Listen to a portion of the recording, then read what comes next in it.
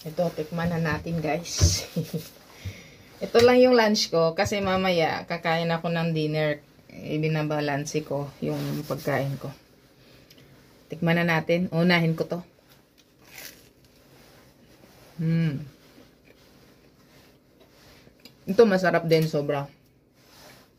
Simple lang kung hindi mo na kailangan ng mag, magano ng oras maghihintay o ano kung gutom ka. Kuha ka lang ng bread, ito toast mo. Olive oil at saka asin. Pork.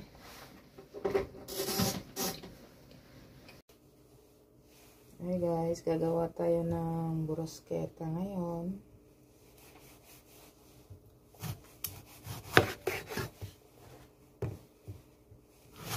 Ganito yung paggawa ng Italian bruschetta.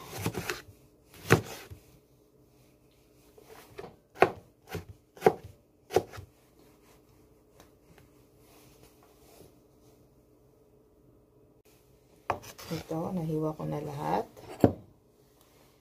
Lalagay mo lang dito sa bowl.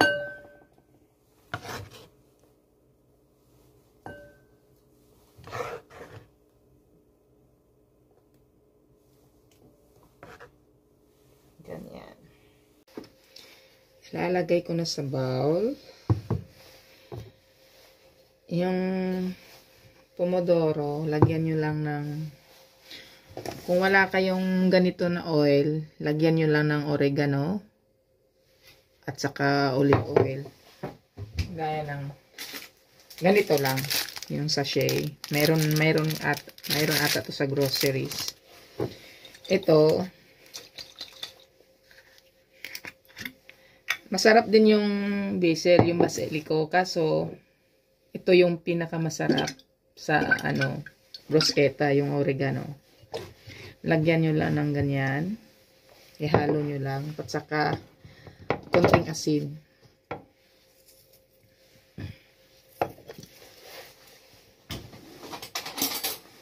Ihalo nyo lang ganyan. Tapos, hayaan mo siya ng 1 hour or more than 1 hour bago ka gumawa ng bruschetta. O, ilalagay ko sa fridge.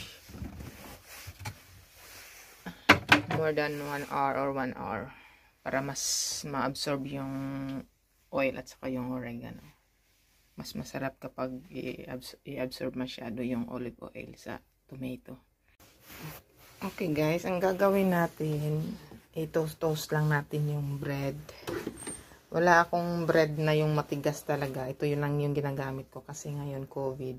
Hindi ako nakakalabas ganyan lang. Eh, pero, mas, kasi konti lang kasi hindi ko na lang i-oven. Pero kung maramihan guys, i-oven nyo.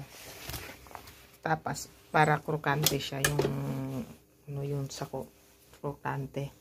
Yung malutong. Gaganyan nyo lang para maging malutong yung bread. Ito, 1 hour na to dito. Kunti lang yung gagawin ko kasi eh, dalawang klase lang na ano, bruschetta. Eh, toast na yung bread. Pwede na to. Ito guys, ready na yung bread at saka yung ano, pomodoro. Lagyan nyo lang ng Philadelphia, yung sa ilalim mas masarap siya. Ito yung technique sa ano.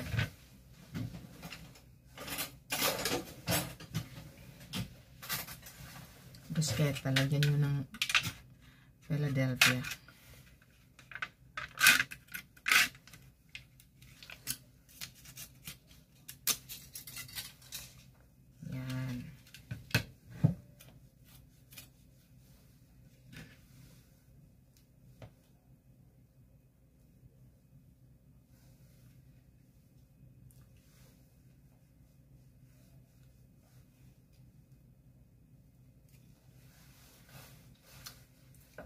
Mm. Bueno. Tapos, ilalagay nyo yung pomodoro. Sa taas. Yan.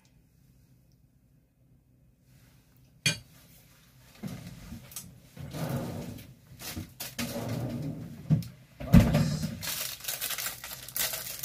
lagyan nyo ng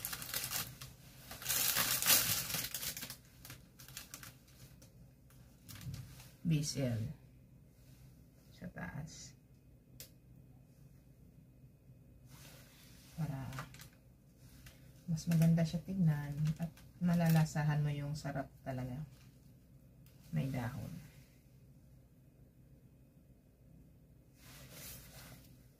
Ito naman guys, kasi nagawa ko na yung basic na ano, gagawa tayo ng simple lang, yung simple siya. Walang pomodoro, walang tomato, walang Philadelphia. Olive oil lang at saka asin. Depende yan sa inyo kung anong gagamitin nyo. Yung basil, yung basilico, or yung ito may oregano kasi to eh. Or normal eh. Normal. Ako gagamitin ko yung normal. Ganyan lang. Yan. Tapos, lagyan nyo ng asin konti. Yan. Ito yung dalawang klaseng bruschetta. Ito yung simple lang, kung wala kang kamatis, olive oil lang at saka asin. Tapos ito yung Philadelphia at saka yung pomodoro. Huwag niyong kalimutan i-subscribe yung channel ko guys para ma-update kayo sa mga simple na luto ko. Mm. Mm. Dito lang ako sa kusina, tanto pani lang naman. Mmm, mamaya.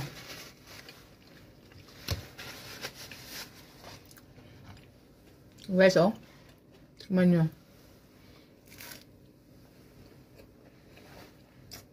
Until next. Dalawang tipo na bruschetta. Semplici, poi questa con pomodoro con Philadelphia.